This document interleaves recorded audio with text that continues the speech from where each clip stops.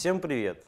На связи похудевший Никита, и сегодня мы начинаем обзоры на Z-Wave устройства. Напомню, что Z-Wave — это система домашней автоматизации, которая работает без проводов.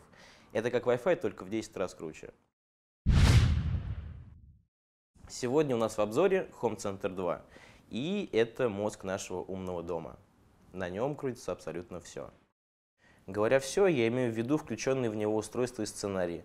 Помимо этого, контроллер формирует в себе систему оповещения, безопасности и удаленный доступ. А отличительной особенностью Home Center 2 – это наличие своего SIP-сервера для организации внутренней телефонии и подключения домофонов. В данный момент готовых решений для домофонии нет ни в одном другом контроллере Z-Wave, поэтому Home Center 2 – наилучший вариант.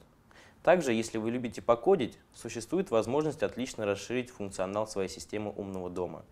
В Fibaro Home Center 2 есть встроенный интерпретатор, который работает на языке Lua и позволяет взаимодействовать с контроллером на уровне API. Эта вещь позволит интегрировать многие сторонние сервисы, но об этом я расскажу немного позже. Давайте посмотрим, как Home Center 2 выглядит изнутри.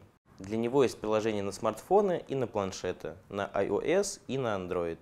Также есть веб-интерфейс для любого браузера. В контроллере большое количество плагинов, но решение для мультимедиа и климата тоже найдется. Плагины позволяют очень просто совместить в себе функционал различных устройств, которые напрямую не поддерживаются Z-Wave.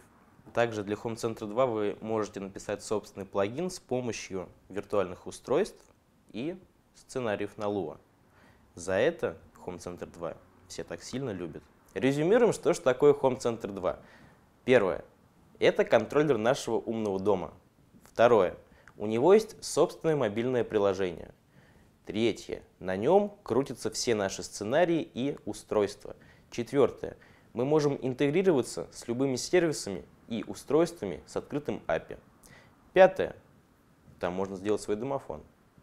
На сегодня все, и дальше мы будем чередовать обзоры на контроллеры и устройства, примерно один контроллер и 5-6 устройств.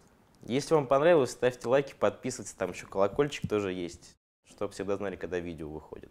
Всем спасибо, всем пока.